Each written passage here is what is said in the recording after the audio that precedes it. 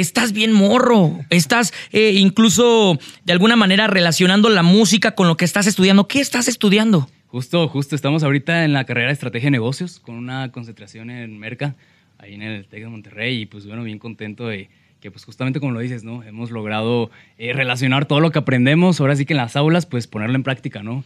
Justamente, como dicen por ahí, algunos han emprendido con, esta, esta, idea, ¿no? De las nuevas generaciones que traemos de emprender, hacer nuevas cosas, nuevos proyectos y aventarnos, ¿no? Hacer las cosas. Pues la neta yo no me quise quedar atrás y dije, pues vamos a hacerlo y pues lo hice en la música. Y sobre todo que este proyecto nace de, de una época de pandemia, nace en donde las personas teníamos la necesidad de hacer algo, ¿no? De innovar. Y de qué forma tú dices, ¿sabes qué? Yo quiero innovar, pero en la música. Yo quiero aventar mi proyecto. Sobre todo que fue una decisión eh, arriesgada, vaya, por así decirlo, hay que recordar que en cuestión de pandemia no se podía tener presentaciones. Nada, nada, compadre. Ahora sí que, que, nos aventamos, y, pero bien contento, ¿no? Que de eso se trata, ¿no? De aprender y hacer las cosas. Eh, justamente en el 2020, que, que, inició la pandemia, pues a Misael se le entró acá la locura y dijo, pues a mitad de año, de ese año, pues lanzamos el proyecto de Misael Espinosa, ¿no? En el regional mexicano, con el estilo que, traemos, ¿no? Este, pues dándole al público que es el mariacheño. ¿No? que esta combinación del mariachi con el norteño y pues hacemos allí una que otra locura, pero realmente pues eh, justamente fue esa idea ¿no? de demostrar y sobre todo en esos tiempos, ¿no? que la gente está encerrada, que la gente quería escapar un poco de su mundo y, alejarse un poco, creo que el, mejor, la mejor escapatoria, el mejor camino era la música en ese entonces, ¿no? Eh, y, la verdad para mí fue ese reto de adentrarnos en este mundo musical, porque soy el primero de mi familia en, hacerlo. Entonces, adentrarnos y, hacer y lanzar este proyecto, ¿no? que, sobre todo para mí tiene esa, pues esa chispita ¿no? de hacer algo nuevo y de mostrar algo diferente y sobre todo demostrar, ¿no? Que sobre todo en las nuevas generaciones, pues sigue escuchando este género. Oye, ¿y en qué momento surge la idea de hacer tu proyecto? Porque me comentas que no eres de familia de músicos, ¿no? Y a veces uno tiene la idea de decir, híjoles, no, ahí está esta, esta dinastía y esta otra dinastía, y pues yo quiero incursionar. A veces no, no hay como quien te vaya llevando, ¿no? Hacia el camino a donde tú quieres llegar. Pero, ¿qué te dijeron tus papás cuando les dijiste, sabes qué? Quiero dedicarme a la música. No sé cómo le voy a hacer, quiero dedicarme a la música.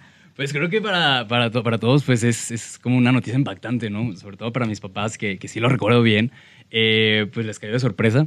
Eh, ya lo tenían pensado porque desde morrillo, la verdad es que yo desde morrillo, 13, 14 años, este, yo, yo ya estaba en este mundo del espectáculo, me gustaba eh, estar en los concursos de talentos de la escuela, yo en las aulas ahí, tenemos videitos ahí de morrito que tienen mis amigos, ¿no? Cómo andaba cantando en los pasillos, en, en las clases, en los salones clases, que me llegaban a regañar los maestros que dicen, oye, mi salida. Ah, sí te llegaban a decir. justamente. Dame chance de dar la clase, hijo. Un poquito. Y bueno, también justo yo eh, estuve en teatro musical unos dos, tres añitos que también me ayudó a perder el miedo, como te platicaba.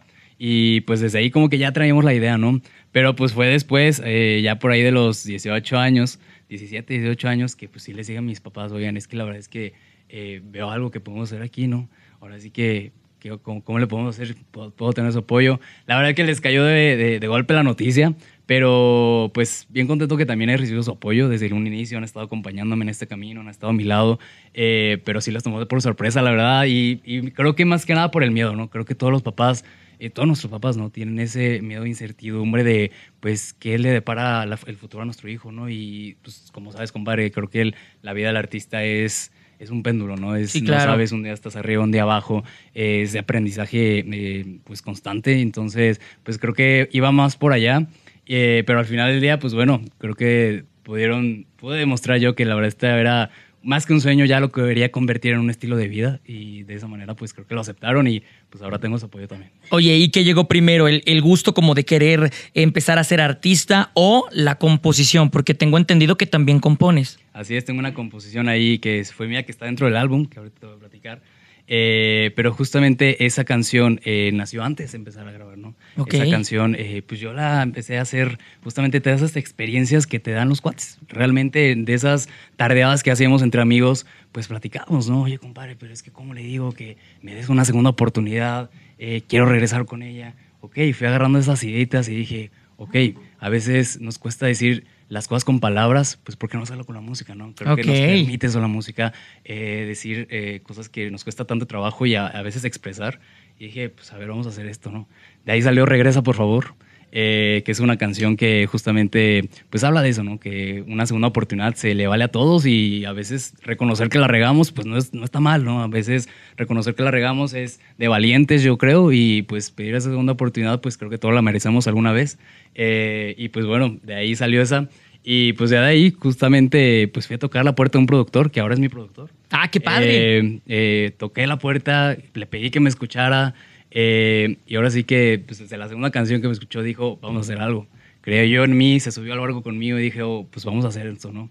Eh, ahí fue cuando pues, iniciamos, este, iniciamos con esta búsqueda de nuevos temas. Quise yo conocer a más compositores, ¿no? Creo que los compositores necesitan ser escuchados con sus historias que traen. Esa fue también una idea de mi proyecto desde el inicio, ¿no? Que compositores que a lo mejor no son reconocidos, que están en Guadalajara, en Monterrey, en Ciudad de México, en el estado, pues trajeran sus canciones para escucharlas y de ahí, de ahí nació. Entonces, pues, nos metimos al estudio ahí en el, en el 2018 eh, grabé mi, mi, primera canción cuando tenía 18 años. ¡Wow! Y pues de ahí, de ahí arrancamos de aquí para allá. Y así es como comienza una historia, ¿no? Que es precisamente el álbum que, que le estamos metiendo ponche en este momento. Así es, compadre. Comienza una historia que justamente es esta primera parte y primera etapa, como me gusta decir, ¿no? De Misael Espinosa, ya, ahora sí, oficialmente cerrada porque pues este compendio ¿no? de, de, estos sencillos que a lo largo de estos años que hemos trabajado, pues es, una, es, es un muestreo, ¿no? Es, es, de lo que estamos hechos, eh, está, está, está dentro del regional mexicano el mariacheño, ¿no? La, la, propuesta musical que estamos haciendo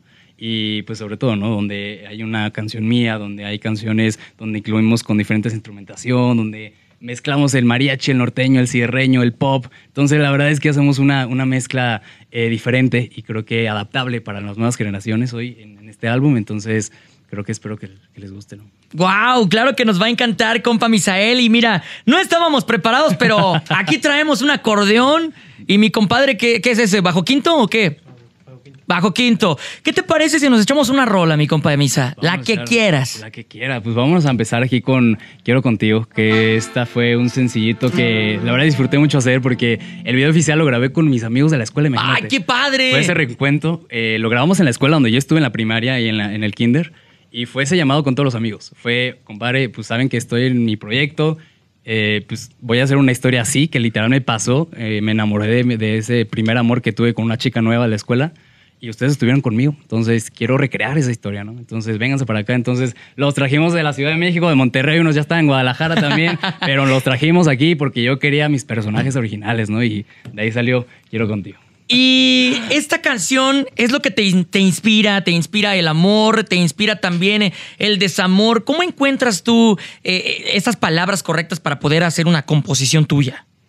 Fíjate que al final del día creo que transmitir eh, lo que la gente quiere escuchar no va por ahí. Yo siempre digo, voy a hacer historias con la cual la gente se pueda relacionar, pero a lo mejor convivencias, ¿no? Convivencias que uno va escuchando o propias, ¿no? Eh, justamente, por ejemplo, con Quiero Contigo, que justo también fue una composición de Paola Cerrot también, que le mando un gran saludo, eh, que justamente fue esta, esta, esta historia, ¿no? Que nos ha pasado. Y, pero sobre todo, por ejemplo, ahora como yo eh, compuse Regresa, por favor, como te platicaba, pues son de estas vivencias que uno va escuchando y que dice, pues la verdad quiero que se conecte la gente con mi música, ¿no? Al final del día, yo sé que hay diferentes estilos musicales, pero al final del día, si tú tienes una historia en tu canción con la cual conecte con la gente y cuando la escuche diga, es que a mí me pasó lo mismo, o sabes que esta, esta, esta chiquilla me hizo lo mismo, o este compadre me hizo esto, pues ahí dices, ok, ahí es cuando creo que conectamos con la gente porque a mí me pasa, ¿no? Yo soy fan de muchos artistas. Claro. Yo soy fan de mucha música. ¿Qué artistas y, te inspiran y, y a es ti? lo que me gusta. Pues fíjate que yo soy de la vieja escuela, compadre. Yo sí soy de la vieja escuela porque crecí con la vieja escuela, ¿no? Joan Sebastián, Marco Antonio Solís, eh, don Vicente Fernández, eh, Alejandro también. Eh, ahora sí que me gusta toda esta parte clásica, ¿no? de mujeres, pues estaba Rocío Durcal, Ana Gabriel, que también tengo por ahí, un, le hice un homenaje a Ana Gabriel. ¡Wow! entonces, sin duda, creo que soy de la vieja escuela porque me gusta esa música. obviamente, nuevas generaciones también, ¿no? este, eh, que tengo por ahí también como fuente de inspiración, y, eh, pero sin duda pues siempre he tratado como de mantener en mi estilo musical pues eso, no, no perder la esencia tradicional del mariachi, eh, porque al final del día pues es el género que yo, que yo soy embajador, que me dan la oportunidad de ser embajador y creo que de esa manera pues quiero per permanecer con todo eso, ¿no? entonces con esa línea de trabajo.